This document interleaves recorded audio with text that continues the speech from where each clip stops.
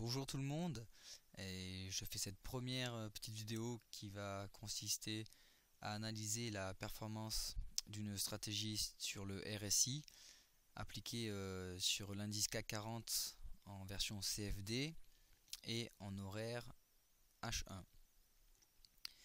La stratégie va donc consister, toute simple, ça va être la première, à attendre un croisement du RSI au-dessus du niveau 30 pour acheter et inversement à attendre un croisement baissier du niveau 70 du RSI pour pouvoir acheter.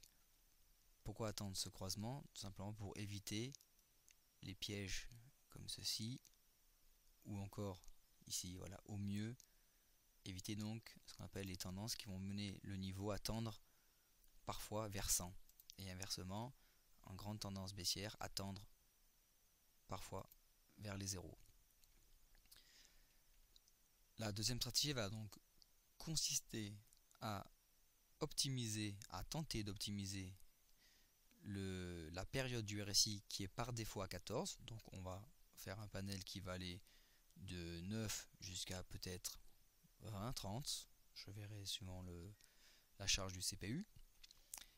Et également ces deux niveaux 70 et 30, que l'on peut passer à 80 ou 20, 25, 35. On va essayer d'optimiser, voir si la stratégie est déjà gagnante et viable sur plusieurs années.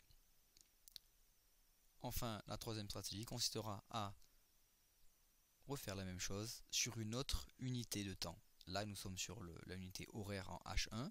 Ben, nous allons essayer sur du M5, sur du D1, sur du weekly, etc. On s'attachera par la suite à changer ici le CAC 40 en un, instrument Forex, par exemple le GBP USD ou l'euro USD. Voilà, les points plus connus. On peut faire aussi du DAX 30, du GR30.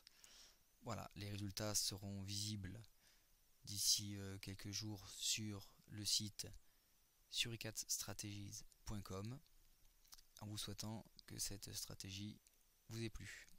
A bientôt.